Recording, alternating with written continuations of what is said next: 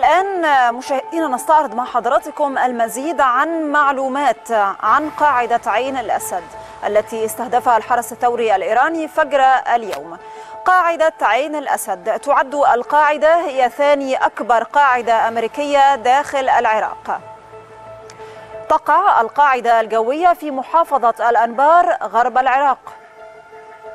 استخدمها تحالف دولي لقتال التنظيم الإرهابي داعش في العراق. استولت أستراليا على القاعدة عقب الغزو الأمريكي للعراق في عام 2003 وفي ذات العام سلمتها أستراليا إلى الجيش الأمريكي في مايو.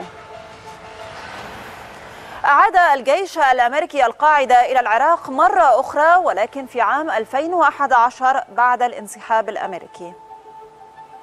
لها أهميتها نظرا لاحتضانها جنودا وضباطا ومستشارين عسكريين أمريكيين. تضم القاعدة مطارا عسكريا مجهزا بمقاتلات ومروحيات على أعلى مستوى. يوجد في القاعدة قوة من الدفاعات الجوية وبرج للمراقبة الجوية مجهز بالرادارات. في عام 2014 ضمت القاعدة 300 جنديا ومدربا ومستشارا أمريكيا. زارها ترامب يوم السادس والعشرين من ديسمبر لعام 2018 للاحتفال بعيد الميلاد مع الجنود والعسكريين.